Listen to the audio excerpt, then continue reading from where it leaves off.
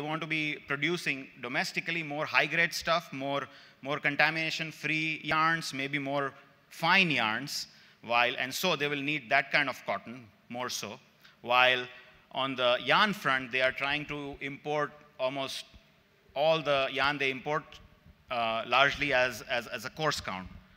Um, and so the key takeaway I would say here, uh, especially from an opportunity perspective for India, is that there is going to be a 3 million metric ton of cotton import demand from China consistently going forward, and a 2 million metric ton demand of yarn.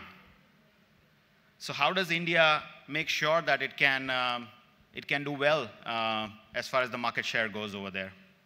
It's got to be relatively cheap because as you saw, um, there is just going to be a lot of cotton available, uh, especially the kind that, that US and Brazil and, and, and, and Australia are going to produce and the kind that China really likes, uh, China really wants. Uh, to compete against that, India will need to be really, relatively speaking, cheap uh, as far as cotton goes. And as far as yarn is concerned, there will be continuous competition from Vietnam and Pakistan largely. Especially next year, we believe that Pakistan um, could really produce a, a, decent crop after all, uh, finally, uh, because we, we believe that uh, there, is, there is a good likelihood that uh, area under cotton uh, increases substantially in Pakistan. So you could have a lot of cheap cotton available for Pakistan who could, uh, who could be much more competitive um, on, the, on the yarn front. That's it.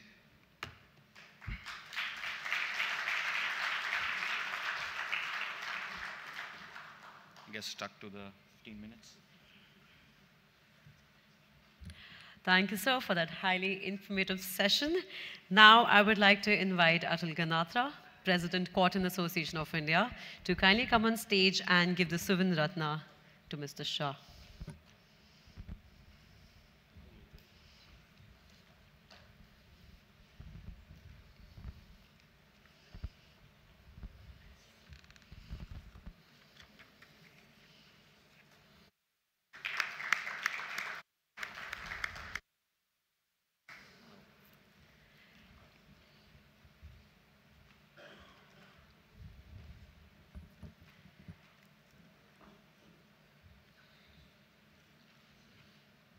May I now invite Dr. Christian Schindler, Director General, International Textile Manufacturers Federation, to kindly come on stage and share his views with all of us.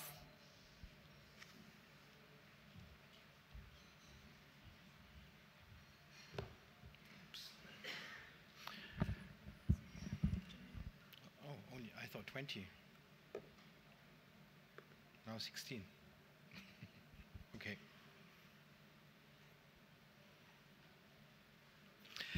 Thank you very much uh, for this kind uh, introduction. Um, thank you very much to the Cotton Association of India um, under the leadership of President uh, Ganatra and his colleagues. Uh, thank you very much for being back in India.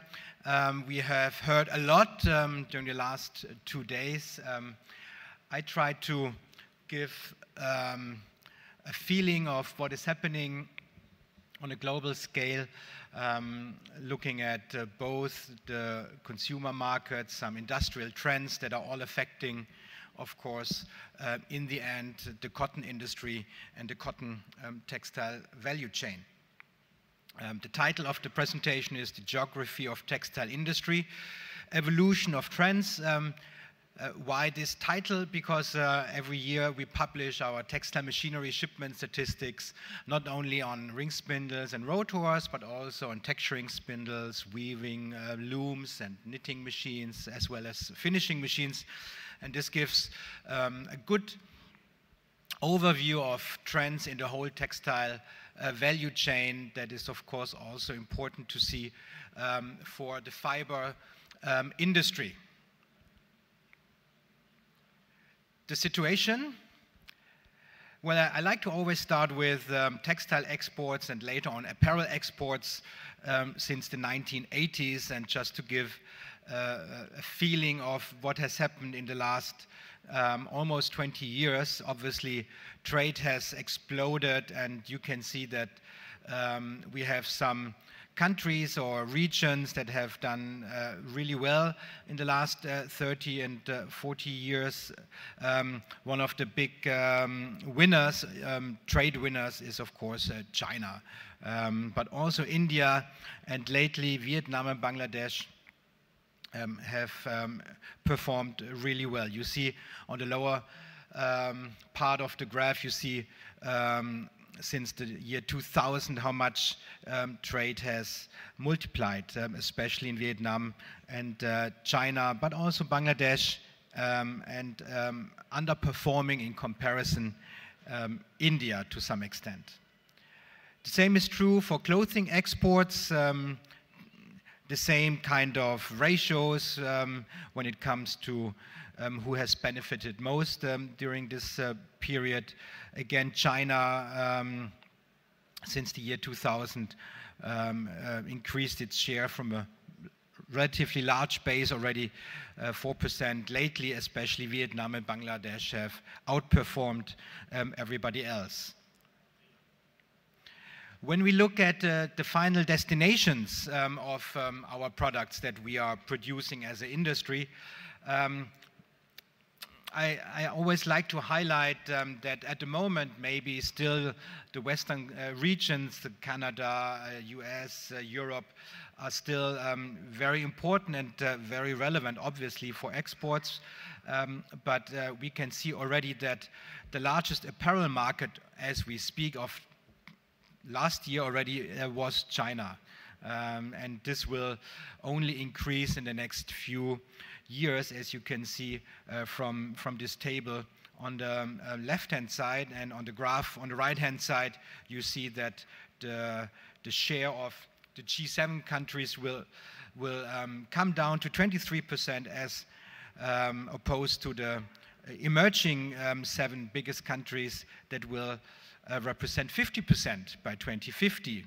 So the message here is obviously the markets in Asia, the end consumer markets are becoming more and more important, including, of course, India that is growing at a rate of, of 11%, um, outperforming um, everybody else, obviously from a much lower base, but very promising um, um for the future um, as a consumer market. It's also interesting um, how the consumers are um, getting to their products. Um, I'm um, differentiating here between store-based retailing and online retailing. Uh, you see everybody, uh, everywhere you have the red, the red um, um, colors, which means that store-based retailing is losing share to, to online purchases. that is true with the exception of India that still has to catch up in, in retailing um, and in some other Asian countries, uh, Vietnam or Indonesia, where you still have some, some growth. Um, but it's losing on a global scale 2% um, between 2012 and 2017. In all the other countries, and this is um, the picture for internet retailing, um, we see also uh, internet uh, retailing increasing. So in some countries it's increasing in both areas like India, but in most countries only retail, internet retailing is um, gaining and especially China um, that uh, really is a leader in internet uh, retailing due to the application uh, and um, widespread um, use of uh, technology, um, especially on um, mobile devices. That's important to know. And while I say that, at the same time, it's important to know that um, retail, um, brick and mortar uh, retailing, is still the bulk of retail, representing from area to area, it's a different number, but around 80% of retail. Um, competition drives price uh, strategy. Uh, this is an interesting uh, slide I, I, wanted to share, um, demonstrating um, the, the, the, problems bro, uh, brick and mortar retailing faces, um, especially those um, um, uh, brick and mortar retailers are having problems that are not in the fast fashion industry that have um, a lot of stocks and uh, long lead uh, time to market, like the department stores, who really have to discount a lot of their uh, products, um, as you can see, 73% in 2016, whereas fast fashion producers, uh, brands, um, have a much lower um, uh, sale um, ratio compared to the other categories. Our industry is obviously a, a very competitive, um, has, uh, is acting in a very competitive nature and is driven by technological evolution. And this is going on ever since this industry evolved um, a few hundred years back. Uh, it's always about being faster, less labor intensive, less energy intensive, less water intensive. Um, that's um, normal business.